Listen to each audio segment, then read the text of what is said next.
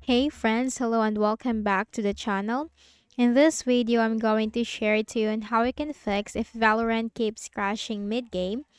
So while playing Valorant and this keeps on crashing mid-game, then let's go quick into the process on how we can fix that. Locate your Valorant desktop icon, make a right click. Select show more options, click on properties. Now the Valorant properties will be up. Click on the compatibility tab and here you'll find this option. Disable full screen optimization. Click on that. Run this program as an administrator. Click on that. Click on apply and then OK. Then we also need to check the VGC service. So in the Windows search bar, type services. Click on it under the best match. Then simply scroll down to the V section as these are arranged in alphabetical order and look for the VGC, this one. Make a right click, select properties. Startup type, make sure this is automatic. Service status, if this is not running, click on start. If this is already running, click on stop. Click on start to restart the service. Then click on apply and click on OK. Then bring up your task manager. So right click at the start button, select task manager. Now we are also going to close uh, some programs in the background which are unnecessary. So like in my case, the programs or applications which are necessary running in the background is the Brave browser and the Google Chrome and I'm not using this. So just simply make a right click, select end task. Right click, select end task. Now once done, then you have to click on the startup apps on the left pane. Change the status from enabled to disabled so that you will know what are the startup applications enabled on your Windows. And once you find that, just simply make a right click, select disable. So you have to disable all the unnecessary startup applications on your Windows. So if you find that unnecessary, then you have to simply disable that. But do not disable those important startup apps for your Windows to function. Simply close this.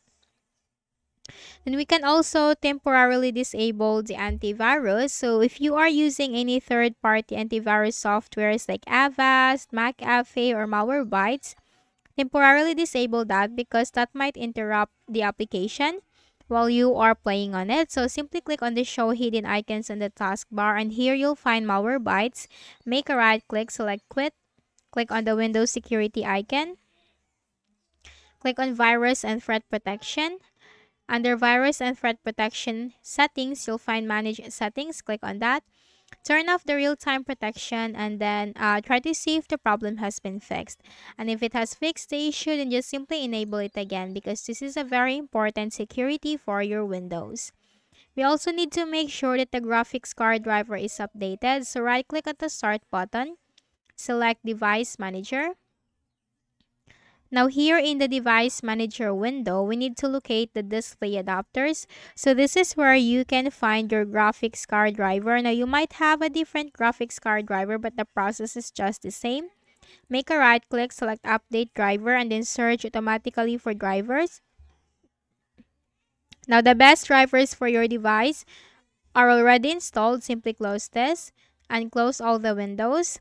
Then we also need to make sure that the Windows is updated. So click on the Start button, go to Settings. In the list of options on the left pane, you have to click on Windows Update. Then simply click this button right here. So this will check for all the updates on your Windows and once done, just simply restart your Windows and then launch the Valorant game if it is working fine this time. Then we can also run the SFC scan to check for any integrity violations. So in the Windows search bar, type CMD. On the right pane, click on Run as Administrator. And here you need to type SFC space forward slash scan now. It's SFC space forward slash scan now, hit enter. Now this process will take some time. This will start from 1% and this will go up to 100%. So here's the thing, do not close the window unless the process is done. So you have to wait for this until it's completed and then just restart your Windows afterwards. And if the issue persists, then we can reinstall the application. So click on the start button, go to settings, in the list of options, click on Apps, Installed Apps. Look for Valorant right here. Once you find that, click on the three dots, select uninstall, and then uninstall once again. Now once uninstalled, we need to reinstall it again. So simply bring up any of your favorite browser. Click on that. Then here, just simply type Valorant download, hit enter. And you'll find the first option from playvalorant.com en-us. Click on it. Then simply click this download button and the installer file will be downloaded. Let's just wait for that.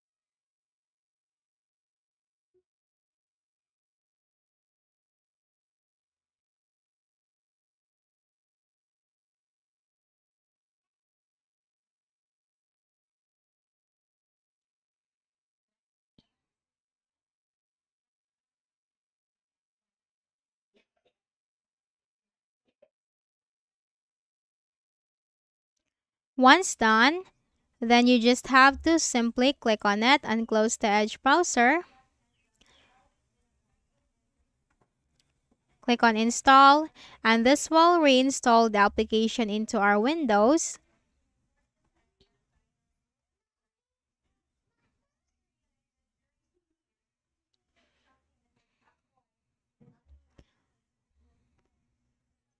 So let's wait for this to launch.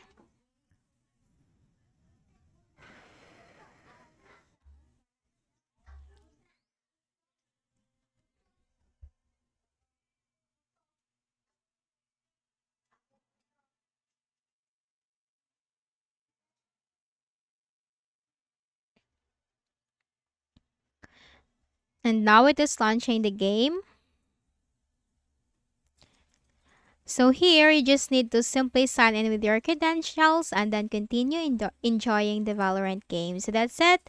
I hope this video helped you. Kindly please do not forget to hit the like button and subscribe to the channel for more videos and tutorials. Thank you for watching.